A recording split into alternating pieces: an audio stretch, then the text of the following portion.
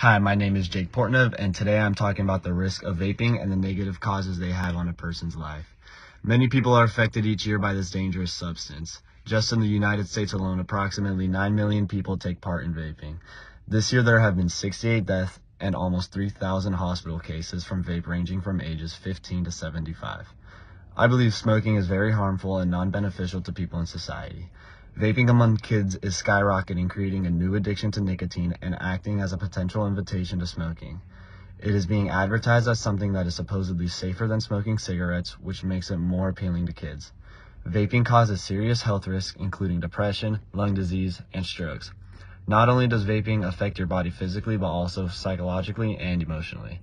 Nicotine can cause short-term feelings of pleasure and relaxation, but can also fall, uh, cause feelings of anxiety. Long-term nicotine can lead to changes in energy levels, mood, and behavior, and can even cause depression.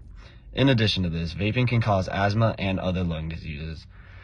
Vape pens have also a small risk of blowing up, which could cause severe burns or potentially kill someone. In 2019, William Brown from Texas died when his vape pen blew up unexpectedly. It exploded and metal shards were sent towards his face and neck and uh, severed one of his arteries. Now, I know vaping is a horrible thing, but there are a couple of positives that should be noted. Studies show that smokers who start vaping are 67% more likely to quit smoking.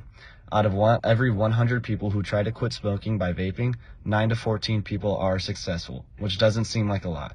But out of every 100 people who try to quit smoking by using other alternatives such as nicotine patches or counseling, only 4 to 7 are successful. So people are 55% more likely to quit smoking by vaping than by using anything else. Vaping is a very harmful substance that shouldn't be toyed with. I encourage you to never vape and keep your life safe.